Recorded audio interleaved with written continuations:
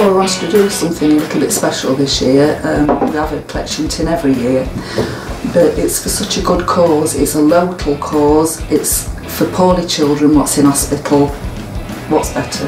I mean, the toy appeal is a great cause and everything goes locally um, and all the, all the money raised does go to the appeal.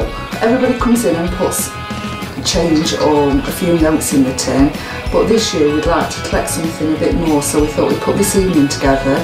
Um, we're doing a three course meal, um, we've got brilliant entertainment on, so we're hoping to have a really great night and raise plenty of money.